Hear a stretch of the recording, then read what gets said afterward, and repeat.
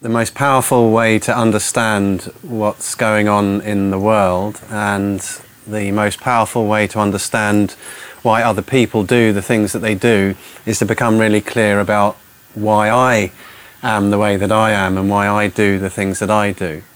And what's the motivation and what's the drive and what seems to um, have power or be able to influence the way that I am in the world and the way that I speak and the way that I relate and the way that I behave.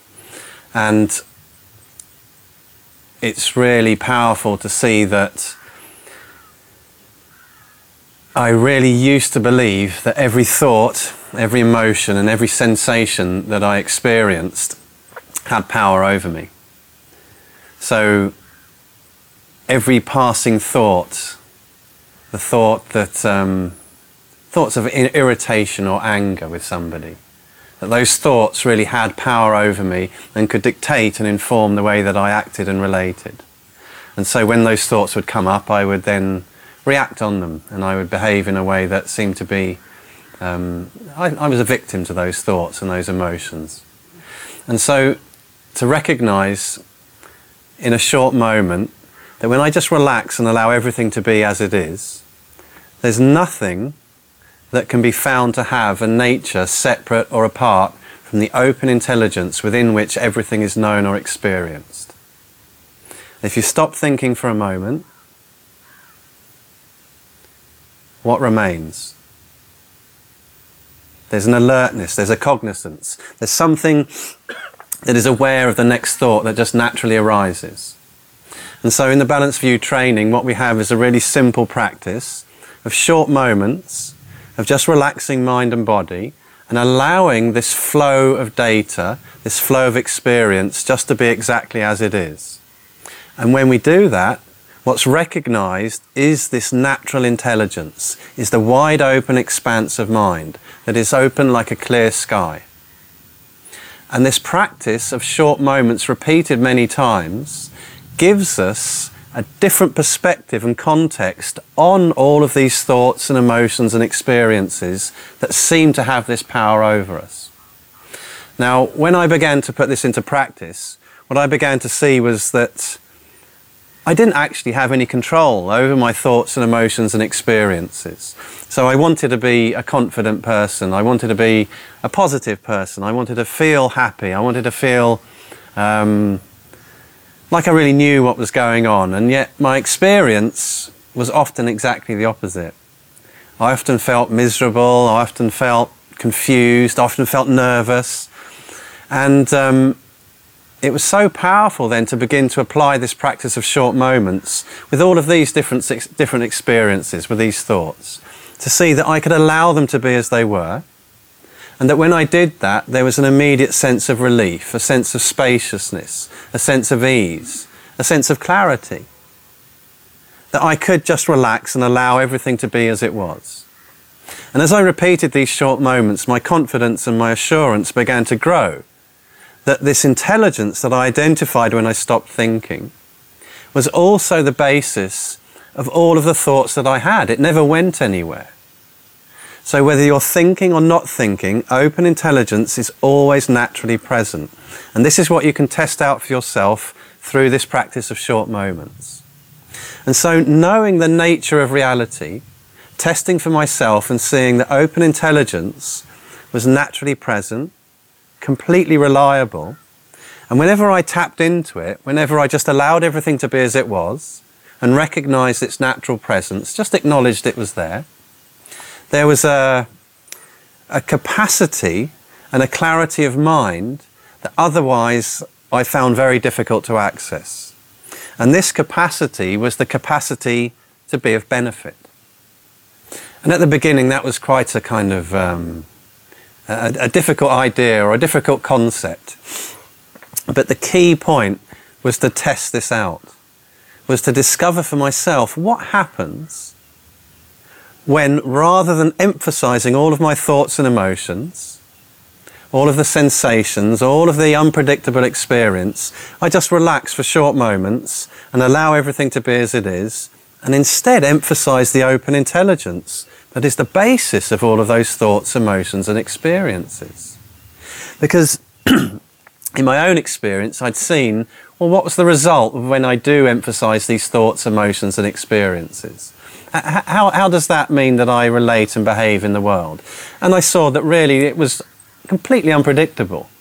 So when I was feeling positive, when I had, uh, you know, pleasant sensations and I felt happy, you know, I was nice to people. And things seemed to be going well. And I'd wake up another morning and I wouldn't feel so positive. I'd feel lonely or negative or like everything was pointless. And I would be mean to people. Or at least I would shut down and I wouldn't have that, um, that openness of relating that I really wanted.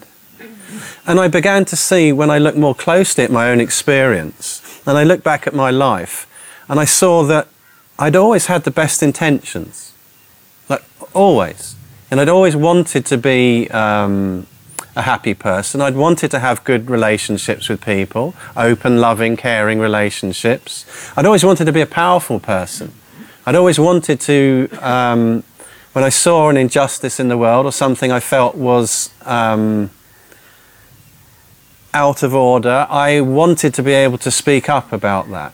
But that was a, actually a perfect example of the limitations I felt when I focused in on the data streams that I had in that particular circumstance. So, for example, um, if I saw something going on that I didn't like or I felt um, uncomfortable about, there would be lots of feelings of, I'm, I'm, well, I'm English, so lots of embarrassment about not being able to speak up or say anything. What will people think of me if I go and um, approach these people and let them know that what they're doing is not acceptable? What, how will they react? And there was all of these thoughts and all of these imaginings about what the outcome would be, and my focus and my emphasis would be on those. And most of the time, that would mean that there was no possibility of me standing up and speaking up for something that I saw really needed to be addressed. I was so focused in on my feelings of embarrassment, of concern about what people would think or what people would say, that it was, um, it was like being paralyzed. And it was the same I saw in so many other situations, social situations. You know, being around other people, there was just feelings of awkwardness almost all of the time. And I'd walk in and I'd be feeling really confident and then immediately collapsing into this awkwardness. And again, it's a perfect example of the focus and the emphasis on data, of just how limiting it was. And then when I looked more closely, I saw that in my life I'd had different conflicts with certain people. There have been certain relationships where even if I'd had this best intention, the way that I'd spoken and the way that I'd behaved had been really far from what I had wanted it to be. And I'd found myself saying um, nasty or unkind or aggressive things to people. And when I look clearly, I see, well, why had I been doing that? Now, what, what, what's going on there? You know, I, I don't want to behave like that. And when I do, um, you know, when somebody makes me angry and I, and I shout at them, it feels terrible. Know, that, that sense of like, burning, um, like self-hatred, self-disgust. Why, I, why did I say that? I hate saying that. I was justified in saying it, but I hate doing it. And to see that this also was just this same basic mechanism of the emphasis on data streams, this feeling of anger, of irritation, a feeling that it has this power over me. And to begin then to apply short moments with these sensations too. To see that nothing can be found to have a nature separate or apart from open intelligence. And this is what I saw through applying the practice of short moments. No thought, no emotion, and no sensation was in anything other than the bright shine of mind. So there was this open intelligence, naturally present, shining forth all of this incredible array, this display of data. And when I took the data to have this independent nature, then my behavior was really unpredictable. My speech was often unkind, or at least not as powerful as I knew it could be. However, when I began to practice relying on open intelligence for short moments, and I began to participate in the Four Mainstays, I began to discover that all of the qualities that I wanted to have in myself, to be able to speak up in clear, powerful ways when that was really what was necessary, to have open, clear, and loving relationships with everybody, that was, I mean, how is that possible? But through this practice and through this training, through participating in the written trainings, listening to the media, taking short moments whenever I naturally remembered in a completely relaxed way, these qualities that I'd had glimpses of, like I knew that was there. I knew how I had that potential and possibility within me. You know, I knew I could be a nice person. I knew I could be a powerful person. I knew I could be a loving, easygoing person. So why wasn't it there all of the time? Why did I have conflicts? Why was there um, relationships that seemed really difficult? It was all due to emphasis on data giving them this independent nature that actually they couldn't be found to have. And so when I began to see this pattern in myself, of either emphasizing data or relying on open intelligence, and seeing these qualities come about of, of ease of relating, of clarity of thought, of deeper and deeper insight into the nature of reality. And I began to see why I'd had difficulties and conflicts in my life then it became obvious to me simultaneously that this was exactly the same for all other beings. Each of us had our unique experience, and yet this fundamental mechanism was exactly the same. And when it was taken to extremes, the extreme emphasis on data, of hatred, of judgment, of criticism and blame, and I saw that in my own experience, how that caused this conflict how that caused this playing out of aggression and of blame.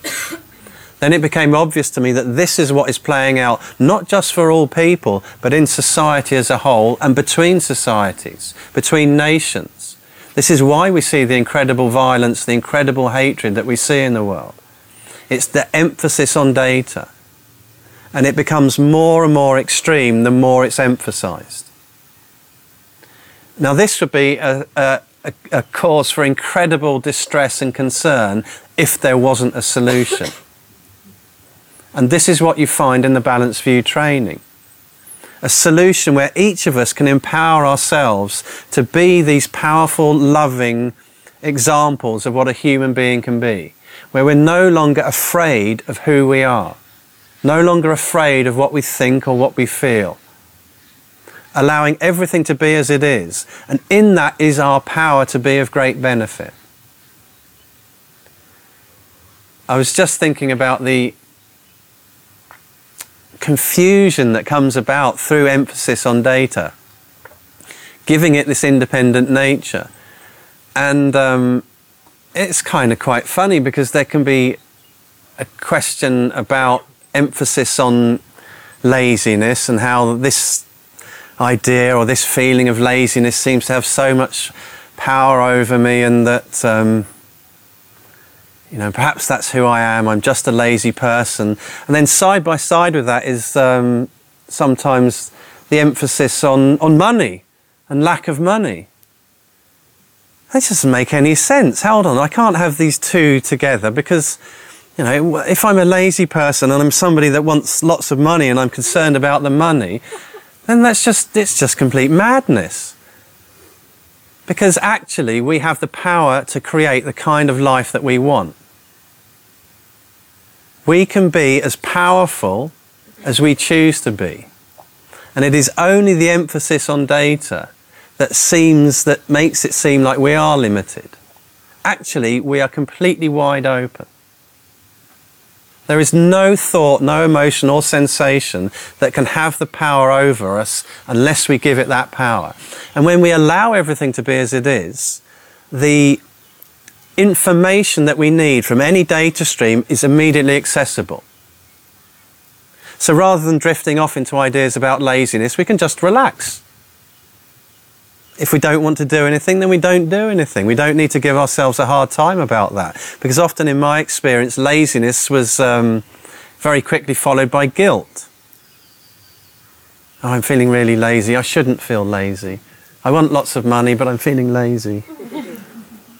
Instead, just relax. And if you don't want to do anything, then you can completely enjoy doing nothing. But if you have this drive and you really want to do something, then that power to achieve that is through relying on open intelligence. Because otherwise, the thoughts and emotions are always changing. And we think we want to achieve something, but then we feel lazy. And so we're like this, this ship that's just being blown around from left to right. I want lots of money, now I'm lazy. Now I'm lazy, I want lots of money. Just, just swinging backwards and forwards.